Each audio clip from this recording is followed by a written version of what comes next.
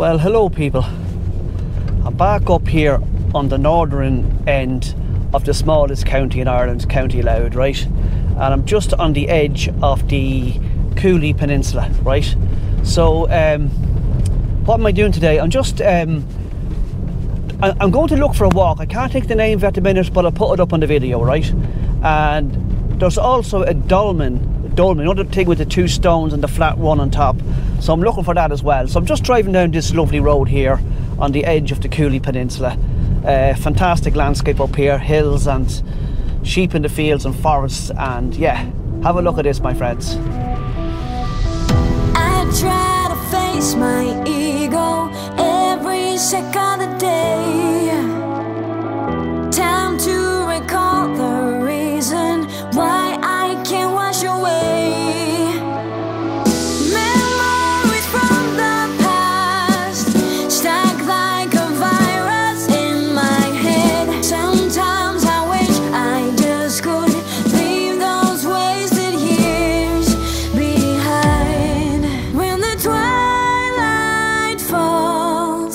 Can see the ray of light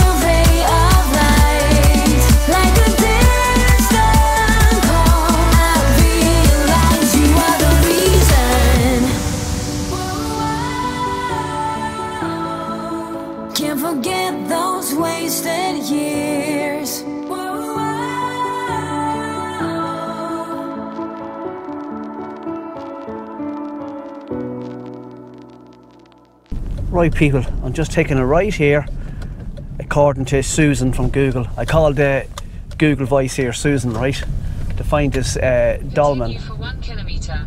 Okay, Susan, thank you very much. So I'm just going down this road here to look for this dolmen, okay?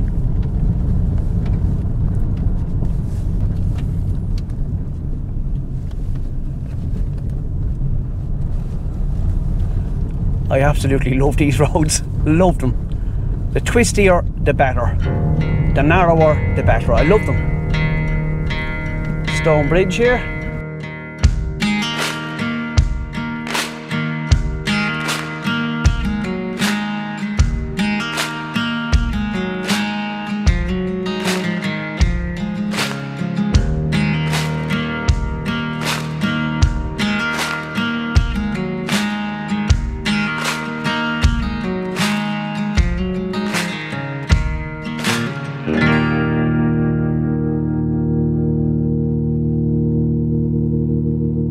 People. I think we're here. I don't know how old now this dolmen is anyway, but we'll have a look. I love doing this kind of stuff. Do you? It's like tagging along, yeah? Hope you do anyway. Let's go out and investigate this dolmen, okay?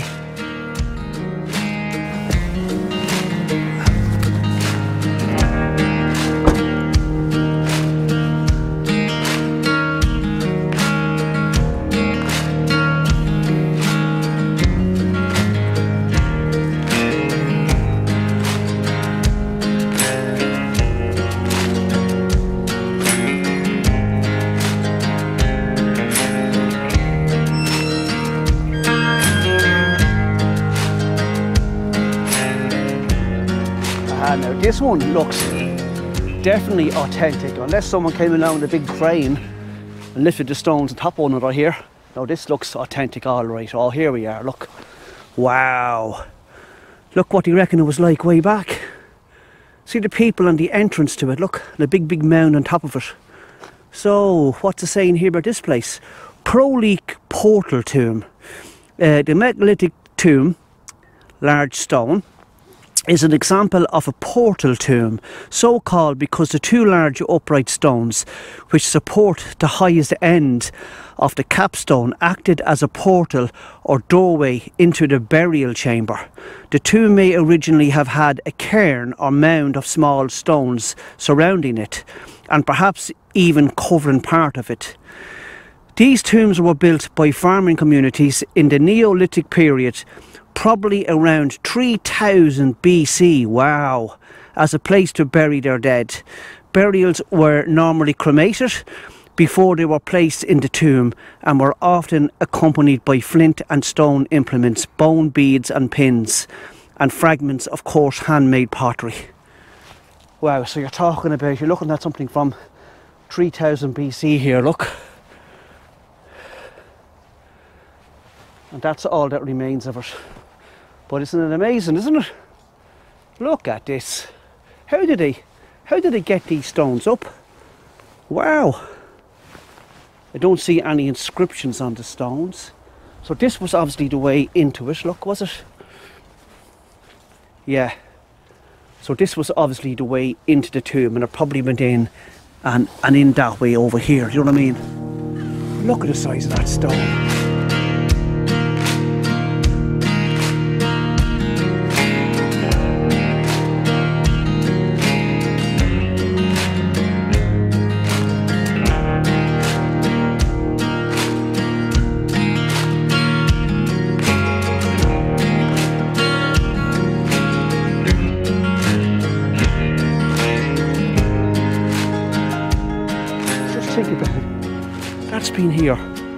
5,000 years.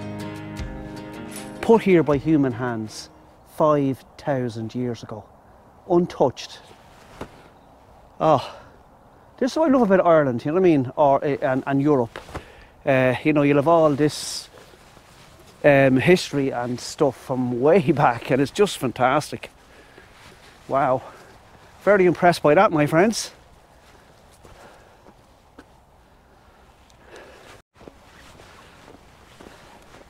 Fantastic. Well, I think so anyway. I don't know about you, but I'm. That just blows my mind. You know what I mean? That men, assuming it was men, maybe there was women involved as well, erected that dolmen five thousand years ago with no machinery, no big heavy lift lift equipment. Ah.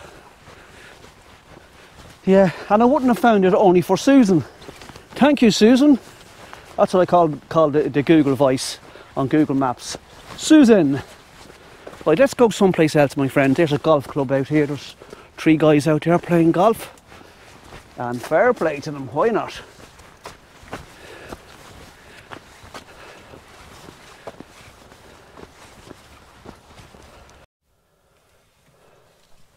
Right, people. I'm just going further into the Cooley Peninsula here, and I'm looking for a place called um, I don't know if I'm pronouncing this properly, Anna, Annaloughan Loop Walk, right? So let me just see how far this is away and see can Susan direct me to it. It's, it's only, according to Susan here, it's only nine minutes by car. So let's do that, my friends, okay? Head southeast, then turn right. Oh, Susan, she's just a lovely voice, hasn't she? She's gorgeous. Okay, Susan, I will command.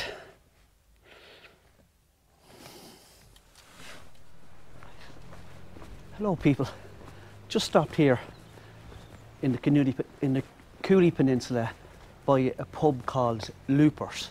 And look at this, isn't it lovely, isn't it, look uh, Powers whiskey and the old whiskey barrels. Uh, the telephone box, telephone Guinness is good for you. And it's just lovely, look this is the old churn. I don't know whether this, this would be for making cheese and stuff, right, and butter. I think so now and uh, you know you just keep twisting it twisting it and twirling the whole thing around you know? Um, I love it. The old shell look uh, petrol pump. Very very good. So this I'm in in the Ravensdale area here of um, the Cooley Peninsula along here now.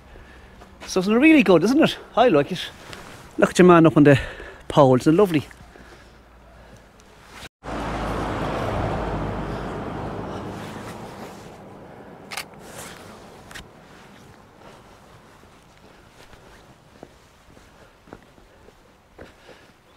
says an important notice here. To gain access, just press 7777 on keypad on right hand side of phone box and open door after the beeps. Only enter to collect oh defibrillator. Okay.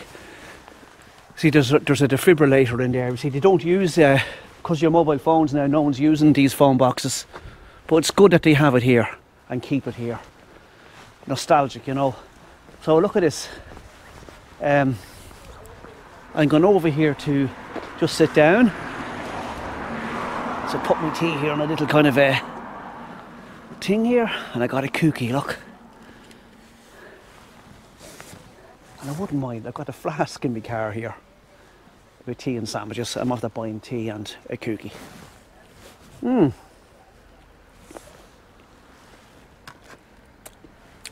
And look at the uh, the pump, the old pump. And it's saying Tain, Tain Way here, so must be a hiking trail up the mountains here, look.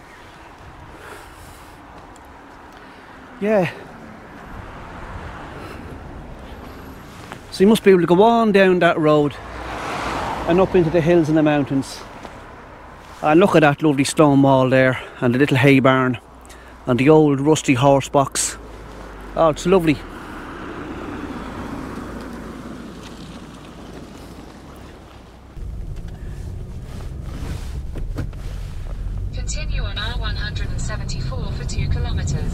Okay, Susan, I'll do that.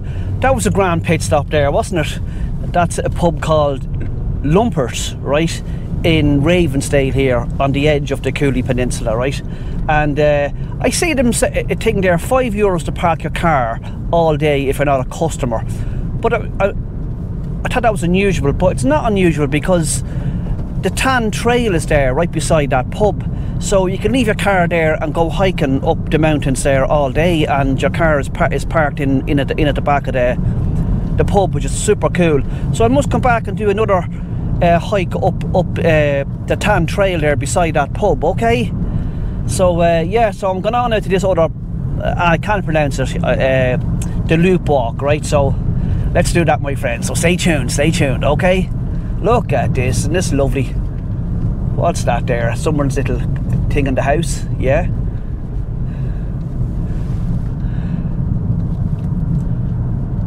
You probably just can't see it on the GoPro there, but I was looking back towards uh, Dundalk town there. So that's it, my friends. Right, people. I made it to the place I wanted to go to today in the Cooley Peninsula, right? Now, I'm not pronouncing this properly, but I'll pull it up on the video. Annaloughan Loop Walk, okay? Now, apart from the fantastic views that I'm going to see here, there's a particular reason why I've come up here. And if I find the reason, it'll be the first to know, okay? And see, my friends, okay? So stay tuned, okay? Let's do this walk. Ah. Look at that view, my friends. Isn't that just out of this world? Look. See the lovely green fields and there's sheep in the fields and the hills. And there's sheep further up on the, on the hills or the mountains, if you want to call them there. It's just so picturesque. And the reason why the grass is so green and why they keep calling Ireland the Emerald Isle is because of all the rain we get, you know what I mean? But when you have a dry day, you get this, you know what I mean? Spectacular views. Let's do this walk, my friends.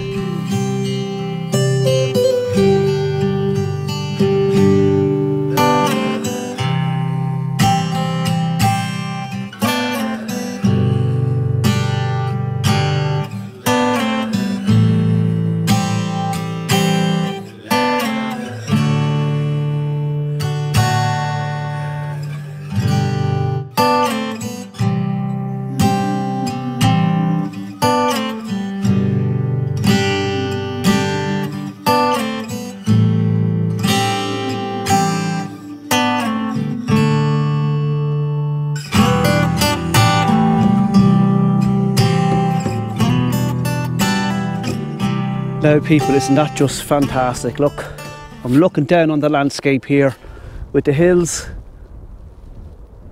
our mountains, and there's sheep in the fields here, the little country roads, twisty and turny, and the individual houses and the farms. And over there is Dundalk Bay, and um, Dundalk is where my where I'm pointing my finger here, the town of Dundalk. That's the most northernest town in southern Ireland, on the east coast before you cross the border into Northern Ireland. And out here, my friends, is the Irish Sea. So I'll just keep walking. I still haven't found this particular uh, thing that I've come up here. If I can't find it, I can't find it because the walk in itself is just spectacular, right? But uh, I hope I find it to show you, right? Stay tuned.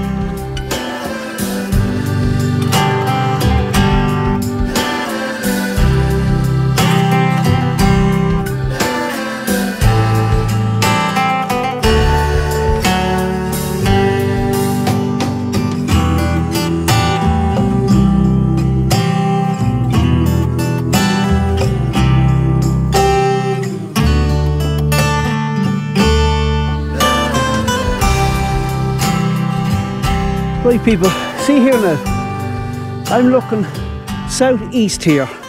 Out there is the Irish Sea, and I can see all the way back to the Dublin Mountains, way, way in that direction there. So Dublin is in that direction over there, okay? And as I said, over there is the town of Dundalk.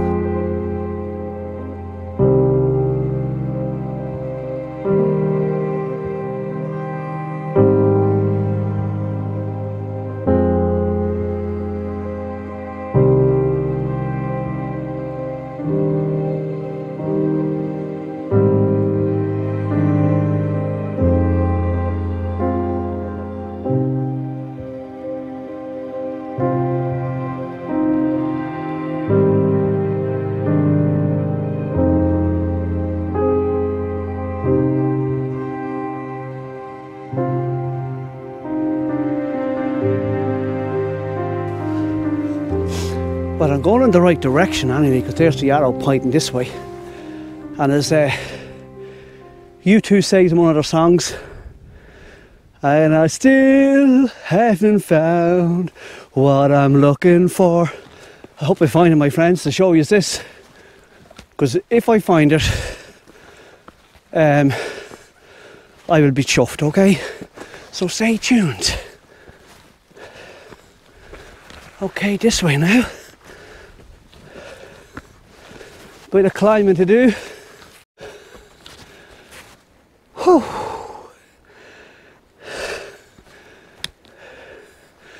Right, so it's telling me to go, as you can see there, slightly to the left and over that ridge up here. Whew.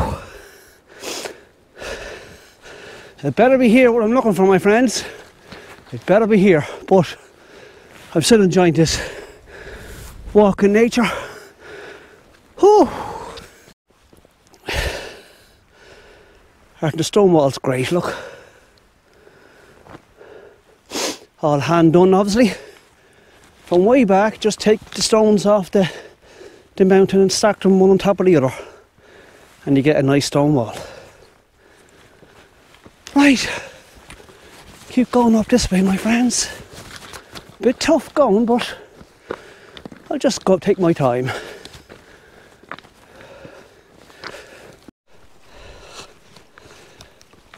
Right, people.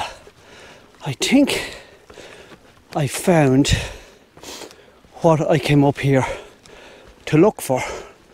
And I can tell you this much it's not very well signposted, only for I looked in the distance and seen it. Um, yeah, so I'm going to show you this now, okay? So stay tuned. Right, people, I'm standing, standing here on a very tragic site on the Cooley Mountains here, right? It was a, a plane crash gone back in 1942, right? Now I think I'm not look not too sure now. This is a British Lancaster bomber. Look, you see it there. Look, model of it. It's say that's a British thing there, right? And there's bullets, obviously. Right. So it crashed up here in bad weather, and 19 men died in this crash. Okay. Um, and I'll just read a letter that one of the survivors wrote to um, the father of one of the men who lost their life on this tragedy here, right? So he says, We ran into worst weather. I I rave ever experienced in three years of flying. It was almost impossible to see our own wingtips. We all knew we should require a good deal of wireless assistance if we hoped to get down safely. Then the real trouble began. The wireless operator could not contact any station in England because of some fault in the wireless equipment due to the weather condition. We knew we were over England and we lost height to 2,000 feet in order to enable us to pinpoint our exact position. But the weather was just as bad at 2,000 feet. It would have been unwise to down any further because of barrage balloons or mountains. So we climbed up again and cruised around, hoping uh, for the weather to clear. But it did not. Instead, it became even worse. By the time we had been in the air over 15 hours and we were carrying fuel, uh, the captain immediately dived down over the lights, which we knew was Dublin, and circled around at above 500 feet. About this time, two of our four engines ceased running and we were unable to climb very well. The captain then headed straight along the coast of Eire to try to land at an aerodrome in North Ireland. We had been flying for about half an hour after leaving the lights, and all this time we were gradually losing height. There was a terrific crash, and when I awoke, I found myself lying about 20 yards from the machine, which by this time was practically burnt out. I tried to stand up but couldn't. As I found later in hospital, I had fractured my spine in two places. I managed to crawl around in a sort of daze and soon saw there was not much I could do for any of the other chaps in my condition. So I crawled over the mountainside to look for help, but there was no one in sight. I started to crawl back to the machine but fell unconscious before I got there. I woke up while being carried down the mountain on a stretcher and found that we were not discovered until three hours had elapsed. This display is mounted on a crankshaft from one of the four engines that powered the plane. It was retrieved from this site in the 90s and refurbished to have its conrods moving freely. It still has one of its 14 pistons attached. So look at this, these are all the names of the of the poor lads that died in the crash. Richard, Richard John Wells, Francis Charles, all here. Look, first names, the last names. The pilot. They got Distinguished Flying Cross, RAF, look. Killed, killed, killed, killed, killed, killed, killed. That's a Royal Canadian Air Force and Royal Canadian Air Force. So maybe there was two Royal Canadian Air Force people on the plane.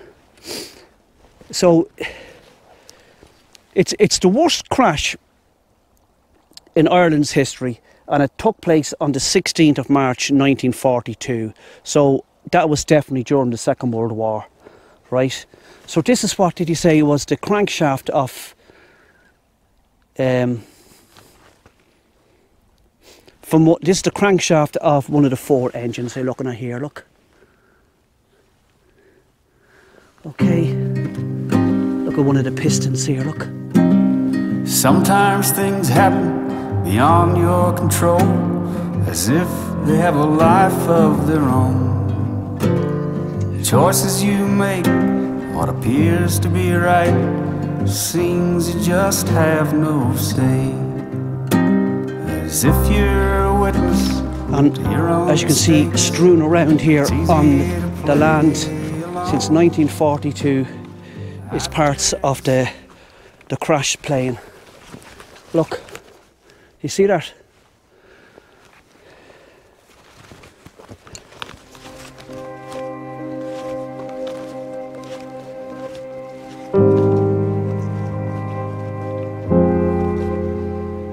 So sad, isn't it? Like I wasn't even shot down, you know what I mean? It was bad weather. Um, 19 men lost their lives just here. Just right here, my friends, okay? In 1942. So I'm glad I found it. This is what I came up to, to, to look for. I'll tell you one thing, it's very, very hard to find it. Very hard. Only for I happen to look in the distance and seeing this little thing sticking up in the air. I was going to dismiss it and I'm glad I didn't. Just go over here now, something else over here.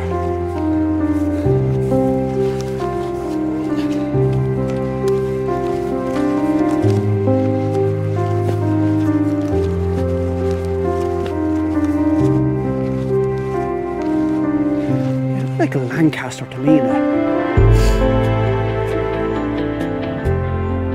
In memory of the 15 pilots who lost their lives on board Liberator AL577, which crashed here on the 16th of March 1942. I must check that up now. Um, if the Liberator is uh, was an English plane, maybe that was an American plane. But it it's, it's it's to me it looks like the Royal the Royal Navy um, insignia that was on it there. But um, yeah, sad, isn't it? Um, but there you go, my friends. Right, so that's what I come up for, my friends. Hope you enjoyed that now, even though it's very, very sad. But uh, all that uh, time ago during the Second World War, and um, parts of the plane are still here on the mountain. It must have been terrible. It must have been like fog, or they they would they'd no radar on, on, on the on the plane, obviously, to tell them there were there was high terrain, you know. And then they were losing height anyway because they only had two engines.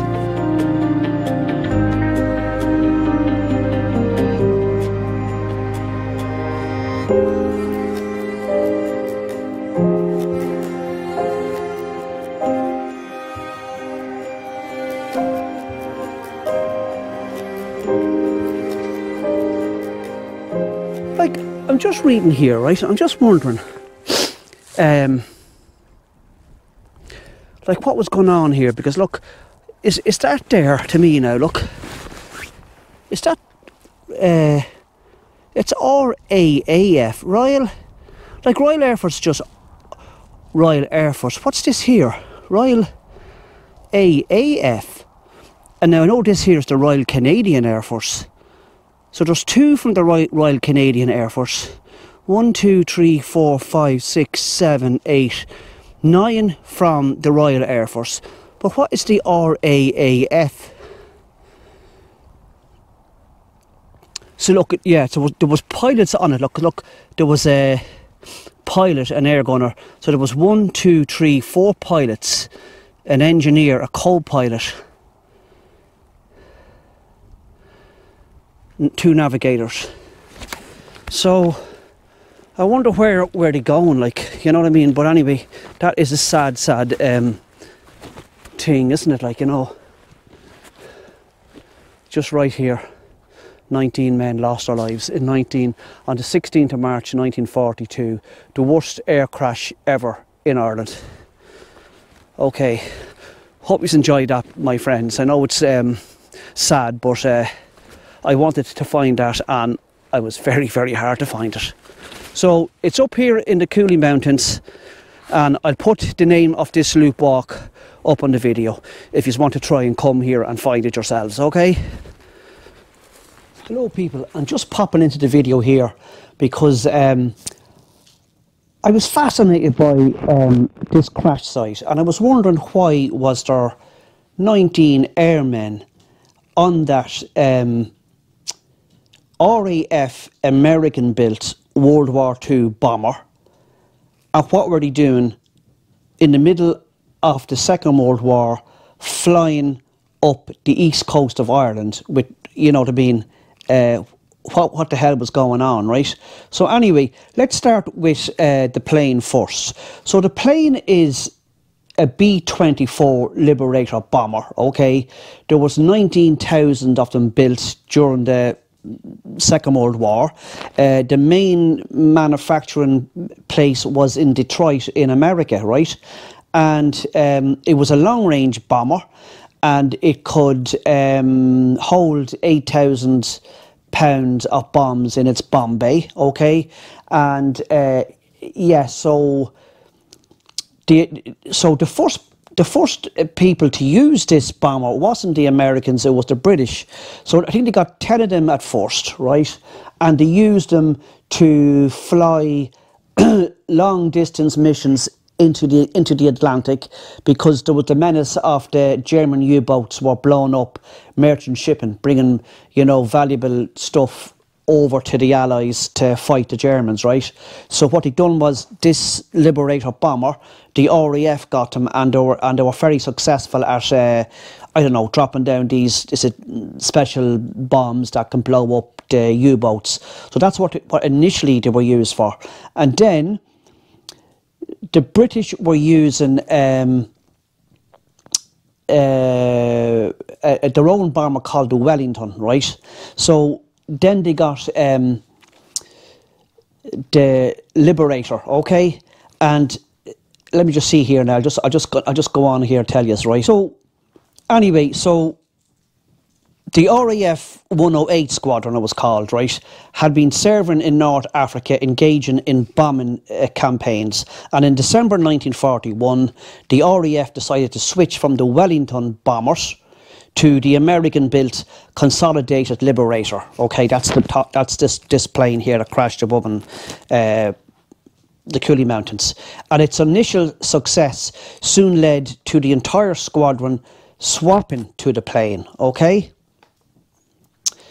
and uh, here's a picture of the plane here, uh, the B-24, and this plane replaced the Boeing 7, well, it didn't replace it, but it was, it, it was, it was uh, more superior than the Boeing 17, which would be probably be the most famous of the bombers of World War II, okay? Uh, so, Liberator AL 577 of 108 Squadron headquarters in the Middle East took off from Egypt at 1655 hours on the 15th of March 1942. The destination would take them over the Mediterranean and France to RAF Hurn in Dorset, England. Right, so I looked up RAF Hurn on Google Maps, right? And I couldn't find it on the maps, but it was it was showing like um, Bournemouth Airport, you know, present day Bournemouth, Bournemouth Airport. So I'm just wondering, back in 1942, was RAF Hurn where present day Bournemouth Airport is? Or maybe it's still there, but I, I, I couldn't see it on Google Maps. I could see Bournemouth uh, Civil Airport, you know what I mean? Yeah, so anyway, there were 19, 19 men with full kit on board a six-man crew operated the plane, carrying 13 passengers from the same squadron. In all, the plane held six pilots, three navigators, three wireless operators, air gunners, and one mechanic. The men were from the English, Scottish, Australian, Canadian, and New Zealander forces. So then it, it, says it's saying here then that shortly after flying over the French coast towards England, the crew experienced their first problems. Reports suggest the plane was ordered to return to Egypt due to bad weather, bad weather over the British Isles. These orders were acknowledged. Veering off course in the bad weather, the plane ended up flying over the east coast of Ireland. The crew saw city lights, believed it to be Dublin, and set course for RAF Greencastle in County Down as they were by then short of fuel. The American bomber crashed at Slieve na Glock on the Cooley Peninsula near Dundalk around 1410 hours on the 16th of March 1942. And uh, and it just says here that um, two of the there was four survivors, right? Two of them was um, pilots actually, but according to this here, it wasn't the pilots that were flying the plane. There were passenger pilots. So there's a sergeant, uh, passenger pilot RAF survived, and flying officer James James Robert, flying officer, a passenger pilot. Uh, he had a distinguished flying cross with the RAF, and he survived. So yeah, um, and uh, a wireless operator, a gunner, RAF, he survived. So anyway, people, um, that's it. I just thought I'd, I'd, I was just wondering why was there 19 airmen on this bomber from different nationalities from Allied forces on that plane? What was the, what were they doing? So basically, they were sent to fly back to RAF Hurn to collect more of these Liberator bombers and fly them all the way back to, I presume it was in Egypt, although the British had had another base in um, Cyprus too. But I think those Liberators flew out of uh, obviously RAF Hurn in England. I think they had a base in Italy and they had a base in um, Egypt. And this plane, this plane that crashed up here, this plane had done three bombing missions in North Africa. I think it was, I know Benghazi, they bombed Benghazi. So you're talking present day Libya there, right? So uh, the, the Germans were in North Africa. So it had already done three bombing missions. And then that particular plane was the one that was being sent with all those crew members to fly back to England, which would have been a dangerous mission in itself to try and get 15 hours of flying. And they were meant to collect new planes and fly them all the way back out to, I presume it was Egypt, right? Maybe it was Cyprus, but I'm just saying Egypt, right? So not only did they lose that plane up there, but that was a big loss for them because look at all those pilots that was, you know, that was killed there. So that that's it, people. So back to the video. Okay, take care. Like from where I'm standing here now, like if you just think back to the 16th of March 1942 when this four engine piston Liberator bomber unfortunately due to bad weather crashed up here. You can see how they ended up over here. They were losing height because they only had two engines, right? But you see the, see the mountain here, this one here and that one over there. So they came right through here, right through the middle of those two hills and just crashed over there. So sad, my friends. So, so sad. Um, in war times, and they weren't even shot down by the enemy.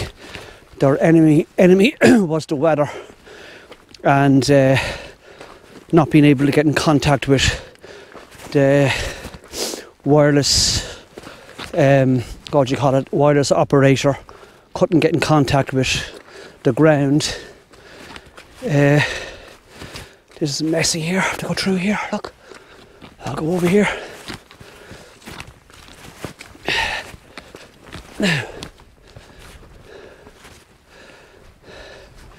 Yeah, once again, my friends, that's very, very sad.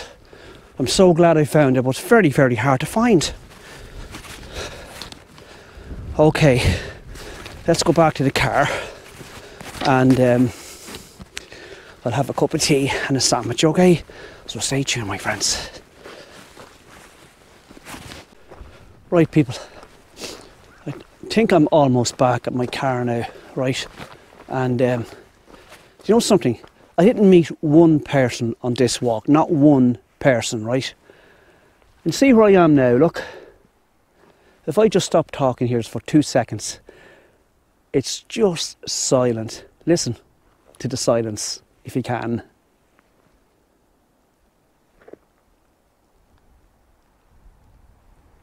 The stillness.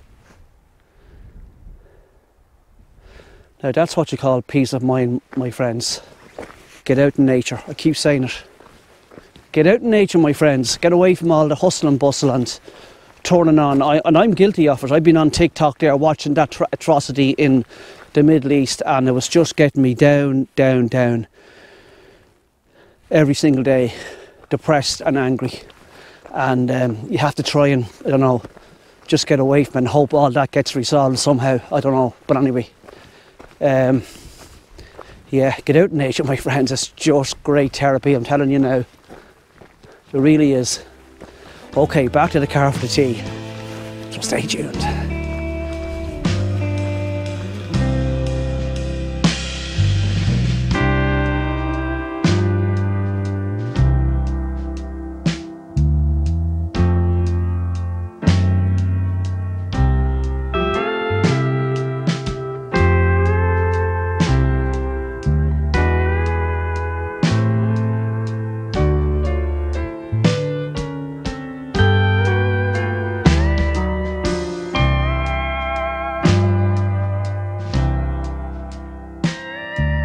Well, people, just having a cup of tea here. Ah, that's grand. And I bought some turkey sandwiches. Right, so I know something. I've, my t-shirt on me here is absolutely soaking. You think I was out in the middle of a monsoon after that walk. So I must remember in future if I'm going for big hikes to bring an extra t-shirt or something and change it when you when, when you finish the hike. Uh, yeah, so look, this is turkey sandwiches, brown bread from um, Lidl. Uh, Hovis granary bread. They, that, that's a great bread if you're making sandwiches, right? And a nice cup of tea from my flask. And I'm sitting here looking out at this fantastic view and there's not one person around. It's lovely and quiet. Mmm.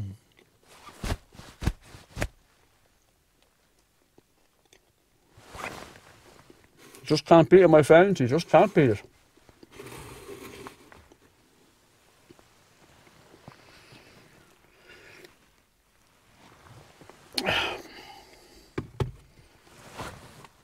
Right, people. So that's it from my hiking adventure in the Cooley Mountains on the analog something loop. I'll put it up on the video here. And to visit that um, sad memorial to those um, 19 young aviators who lost their lives up up here in uh, on the mountaintop in the 16th of March 1942. Um, so I hope you all enjoyed it, my friends, and stay tuned till the end. I'll put up some pictures and um, what's what do I usually say? uh, yeah, so stay tuned, my friends. Uh, for the videos normally up on a Sunday, so press the notification bell to know when they're up. They're normally up on a Sunday between 5 pm and after 5 pm. And if you like the video, just press the like. And if you're new to the channel, please press subscribe. It's free, okay? And uh, as usual, I've no idea where my next video is going to come from, my friends, but it's going to come from somewhere. So stay tuned, okay? Bye. I'm going to enjoy finishing my sandwiches here in quietness in this beautiful surrounding here in the Cooley Peninsula. Take care, my friends. Bye.